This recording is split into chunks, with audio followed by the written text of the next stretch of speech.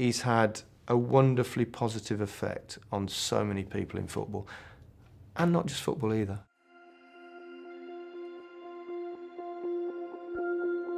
He did say he'd give a year of his life to the foundation, and in fact, that's exactly what he did.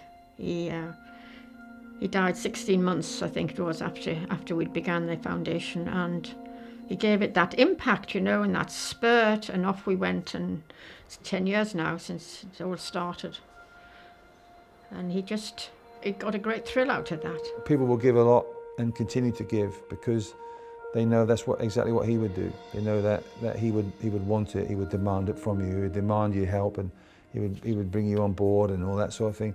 It just summed him up as an individual that someone who was suffering so badly and someone who was poorly for him to still continue to work and give something back and this foundation is his way of saying to the world you're not going to forget me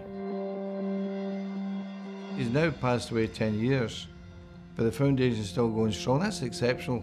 Really is exceptional. Elsie, she's put all her energy into Bobby's life by making sure that foundation working all the time to make sure Bobby's legend lives on. He knew it was going to benefit other people and families where there was a cancer sufferer. I think he thought this would maybe lead to it not being so prevalent in the human race, but he, he had that quality of, of wanting to help. He couldn't do anything by halves. He did it properly, and he went all over the country raising money, even though he was ill. And that says a lot about the man. He was a great man, a really great man. I wish he was alive now, if for no other reason than to see what the foundation's doing and, and, and how it's working. And to be able to help people and treat people and save people's lives in the cancer unit or invest in, in key machinery.